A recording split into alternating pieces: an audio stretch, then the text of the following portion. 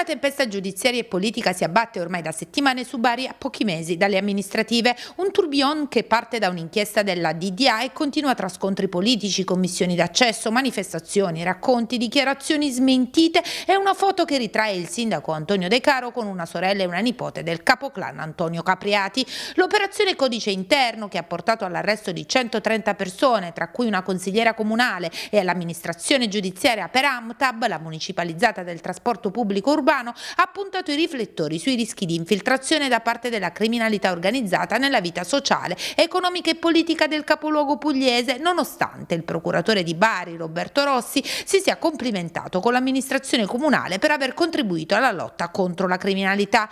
Intanto il 25 marzo al comune di Bari è arrivata la commissione di accesso nominata dal Ministero dell'Interno che dovrà valutare la sussistenza di elementi per lo scioglimento del Consiglio comunale per condizionamenti mafiosi.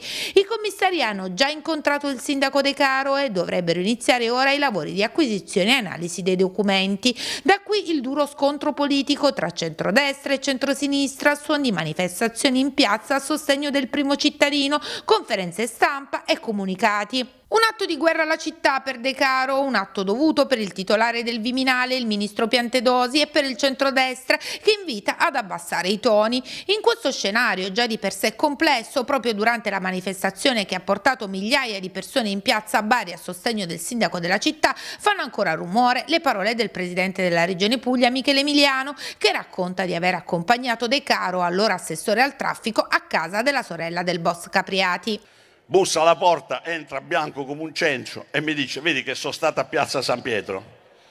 E uno mi ha messo una pistola dietro la schiena perché lui stava facendo i sopralluoghi per la ZTL di Bari Vecchia.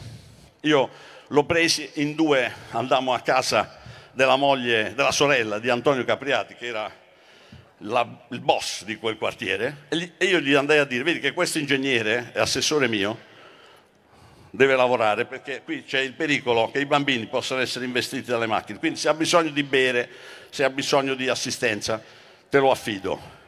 Un racconto poi parzialmente rettificato da Emiliano e smentito in toto dal sindaco di Bari. Michele ricorda male, dichiara De Caro, ma non finisce qui. I quotidiani, La Verità e il Giornale pubblicano una fotografia scattata nel maggio del 2023 in occasione della festa di San Nicola che ritrae De Caro con un'altra, non quella a cui si riferiva Emiliano nel suo discorso, sorella del boss Isabella Capriati e con la figlia di quest'ultima Annalisa Milsi.